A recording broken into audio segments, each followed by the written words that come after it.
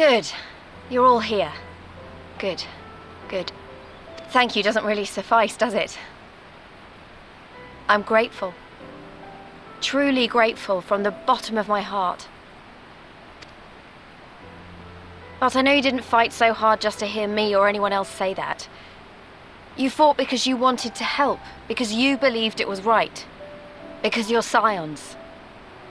Now, I'm obviously a Scion, but as Conrad left me in charge of things here, I also have responsibilities to Ala Mhigo. When I put it like that, though, I realized I couldn't even pretend to be impartial anymore. So it seemed best to make it official. As long as I serve Ala Mhigo, I can't be a Scion. It might be selfish and short-sighted, but that's my decision.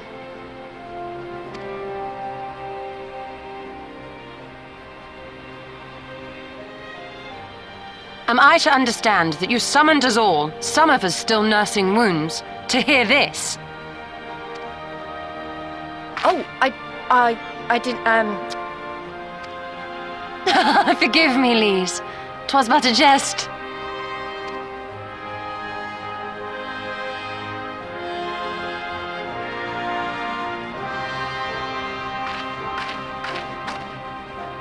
But this I say with the utmost sincerity. Scion or no, we are comrades, now and ever after. Is that not so?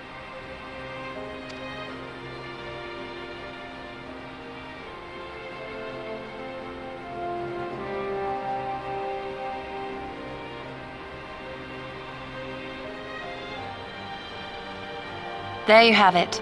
Come what may, you may count on us in your hour of need. We shall never refuse you.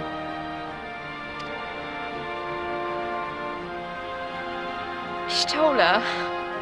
Oh, gods. I swore I wouldn't cry.